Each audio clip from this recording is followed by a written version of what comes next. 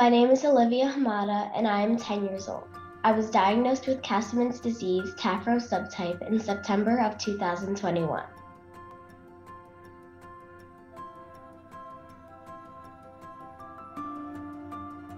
Some of the challenges I faced were when I was in the hospital in the fall and I could barely walk.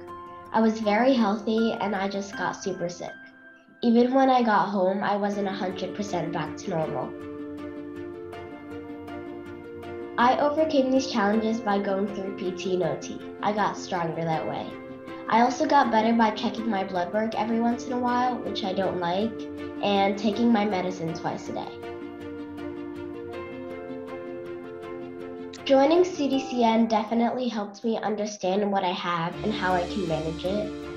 They also found sirolimus, which really helps me, and they are working on finding a cure to help other Castleman's disease patients. Lastly, it helps us connect with other people with this disease.